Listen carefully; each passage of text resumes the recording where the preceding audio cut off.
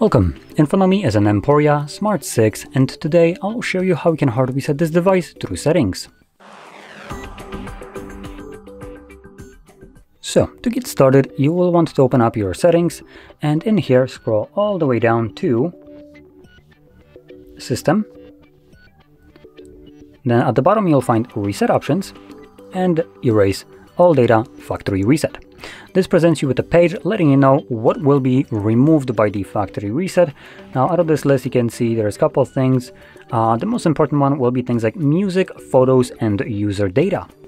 Now, if you keep anything on your device that you would like to well, have a backup copy, as all this that is listed right here will be completely deleted from your device, then make a backup of it to maybe your computer or cloud or whatever you want.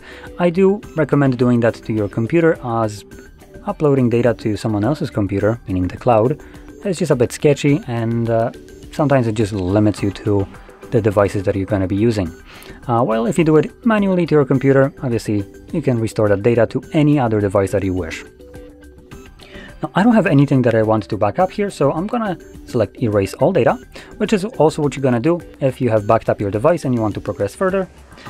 Um, and in here, if you have some kind of screen lock, you will need to confirm it. If you don't have any screen lock, don't worry, this won't show up for you. Uh, instead, what you will see is this page. Uh, and obviously, once you confirm your screen lock, you also get this page. Uh, so here, we're gonna select Erase All Data, which is just a second and last confirmation. Uh, as you can see, all of your personal information and downloaded apps will be deleted. You cannot undo this action. So anyway, I'm gonna confirm it. And it's going to begin the factory resetting of the device.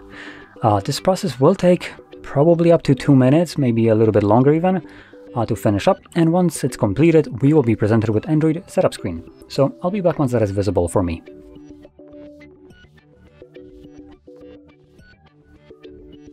And as you can see, the process is now finished, and you can set up your device however you like. So if you found this video helpful, don't forget to hit like, subscribe, and thanks for watching.